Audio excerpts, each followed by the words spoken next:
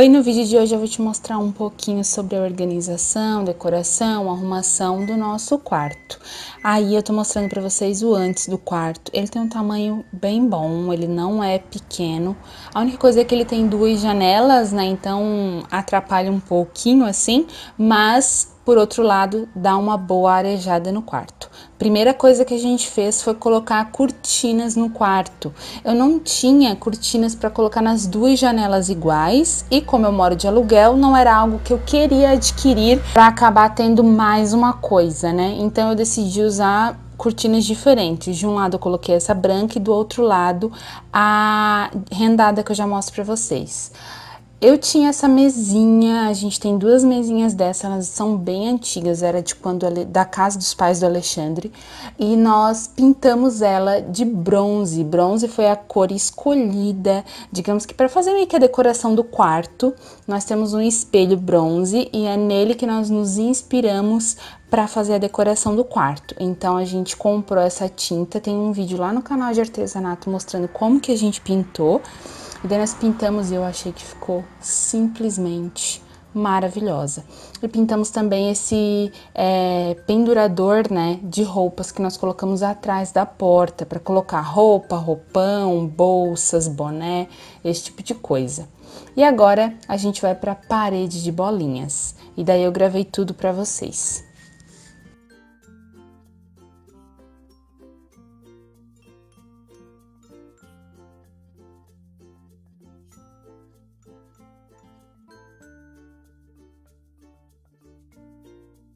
Primeira coisa que eu fiz foi escolher o tamanho que eu ia fazer as bolinhas. Então eu peguei duas superfícies aqui que eu tenho para fazer de dois tamanhos diferentes. Estou até pensando em fazer mais um tamanho para ficar três tamanhos. Então eu tô marcando, eu vou fazer no papel inteiro porque eu quero fazer numa parede. Então eu vou ver quantas bolinhas dá e daí eu vejo lá na parede o espaço que eu vou fazer.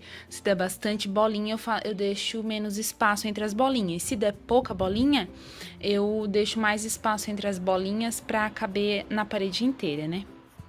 Esse é o antes da parede do quarto. A parede fica bem na frente da cama. Eu tirei tudo que fica no, no chão, né? E botei em cima da cama. E eu vou botar nessa parede as bolinhas.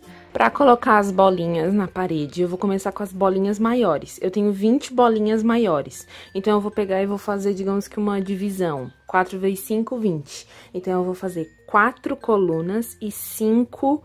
É, como é que se fala? Linhas, sabe? Então, vai ser 5 aqui, 5 aqui, 5 aqui, 5 lá. Então, 4 vezes 5, 20. Depois de ter colocado depois de ter colocado as 20 bolinhas grandes, daí eu começo a colocar as pequenas intercaladas entre elas. As pequenas têm bem mais que 20, acho que deve ter umas 30 pequenas. Bom, vamos lá.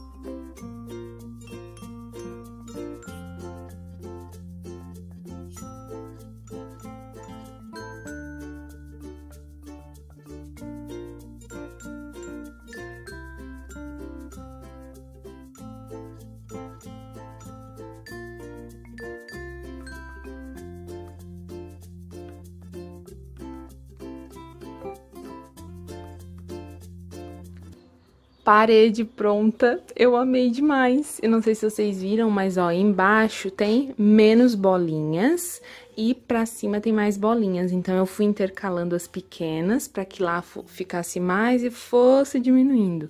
Gente, eu amei demais. Um contact velho que eu tinha em casa. Eu acho que eu tenho há uns dois anos que eu comprei esse contact. E como toda a decoração aqui do quarto eu tô fazendo nesses tons de cobre, de bronze, assim. Ai, eu amei demais. Achei que ficou tão lindo, gente. Olha só, só bolinhas já fez toda a diferença. Assim como fez lá no banheiro, né, o contact. Aqui no quarto eu também transformei uma parede.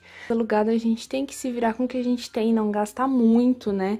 Pra guardar dinheirinho pra nossa casa própria, né, gente? Mas não é por isso que a gente não não vai ter uma casinha fofinha aí com a nossa cara, né? Do nosso jeito. É isso, agora eu vou colocar as coisas no lugar penteadeira, a gente começou lixando essa prateleira que a gente também já tinha. Uma prateleira de MDF branca. A gente começou a lixar e a gente viu a madeira muito bonita embaixo e eu resolvi deixar ela assim lixada. E daí eu mostro para vocês.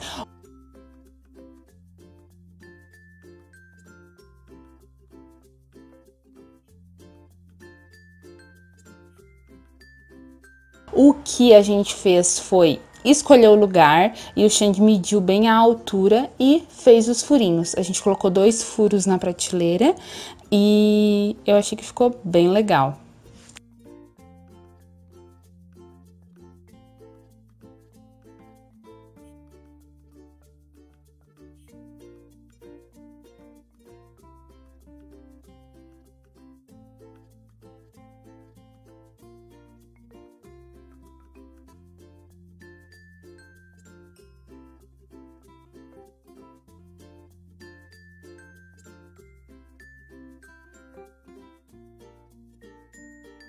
Penteadeira fixada, como vocês viram, o Xande lixou a penteadeira, a madeira, e a gente queria fazer esse... Essa... Ai, não sei o nome, mas... É... De pátina. Efeito de pátina, tá dizendo o Xande que é. Que você tira a tinta da madeira pra ficar nesse estilo aqui. Eu acho que vai combinar bastante com o espelho, com as outras coisas, então... Essa é a penteadeira. Agora, a gente vai medir a altura do espelho, sentando no banquinho e medindo a altura pra ver onde a gente quer que o espelho fique, sabe? Pra ficar bom, assim. Então, é isso que a gente vai fazer.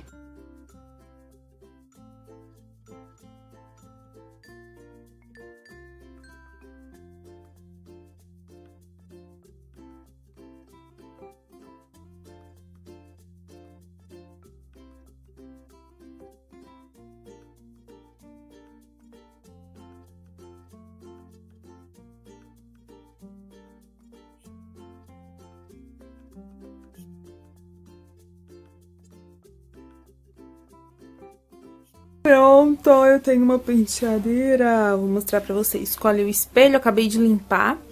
Aqui ficou a prateleirinha e o que eu deixei nela.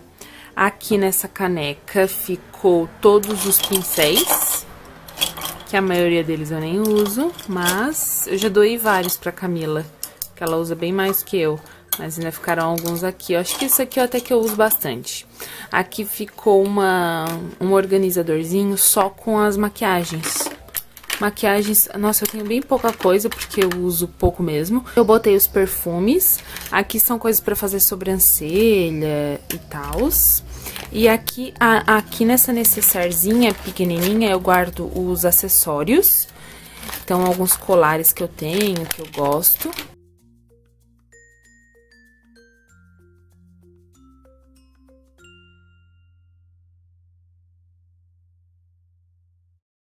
Oi, gente! No vídeo de hoje eu vou te levar aqui pro meu quarto e vou te mostrar um tour bem certinho de como que ficou tudo, de como que eu organizei e decorei, né? E o que eu fiz pra deixar o quarto com a nossa carinha. Essa aqui é a entrada do quarto, ó. O quarto, ele tem duas janelas, tem uma janela lá e tem outra janela lá.